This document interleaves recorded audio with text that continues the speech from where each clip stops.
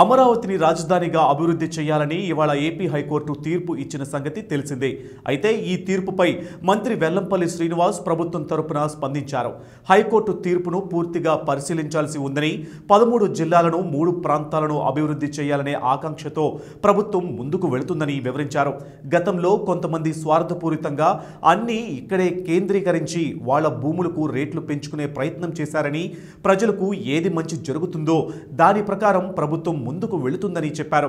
అవసరమైతే సుప్రీంకోర్టుకు అప్పీలుకు వెళతామని ఆరు నెలల సమయంలో అభివృద్ధి చేయాలంటే రాష్ట్ర ఆర్థిక పరిస్థితి కూడా చూసుకోవాల్సి ఉంటుందని ప్రకటన చేశారు. అమరావతి ప్రాంతంలో అభివృద్ధి జరుగుతూనే ఉందని చంద్రబాబు వేసింది కేవలం స్లాబులేనని వెల్లడించారు.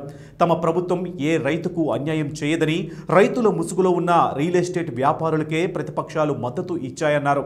మూడు ప్రాంతాల అభివృద్ధికి ఈ ప్రభుత్వం కట్టుబడి ఉందని వెల్లడించారు మంత్రి వెల్లంపల్లి శ్రీనివాస్.